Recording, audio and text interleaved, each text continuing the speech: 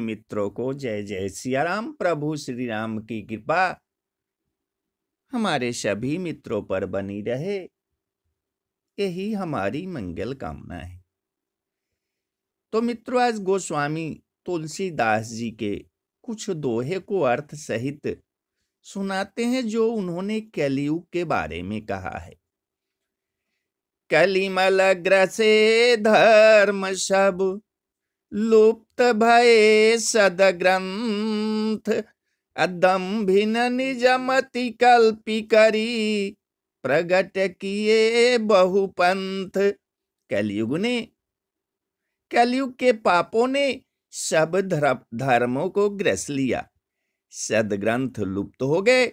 दम्भियों ने अपनी बुद्धि से कल्पना कर, करके बहुत से पंथ प्रकट कर दिए।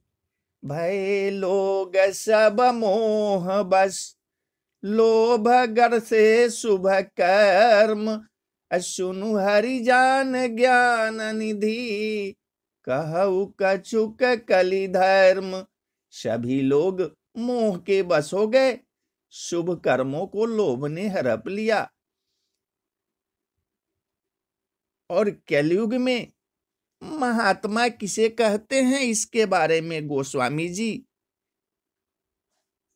क्या कहे कि अशुभ वेश भूषण धरे, भक्षा भक्ष जे खाई अतई जोगी तई धनल पूज्यते कलि जुग माही, जो अमंगल वेश और अमंगल भूषण धारण करते हैं।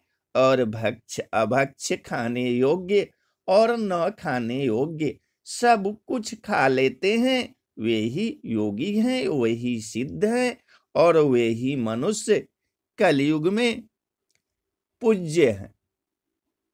जे अपकारी चार, तीन कर गौरव मानते अमन क्रम बचन लवार।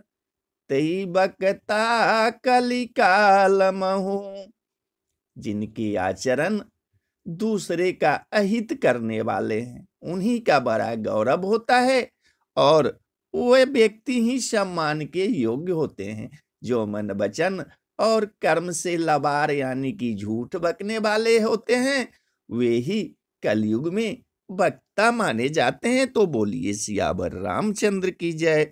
अयोध्या राम लला की जय, वृंदावन बिहारी लाल की जय, पवन सुत हनुमान की जय, बोलो भाई सब संतन की जय।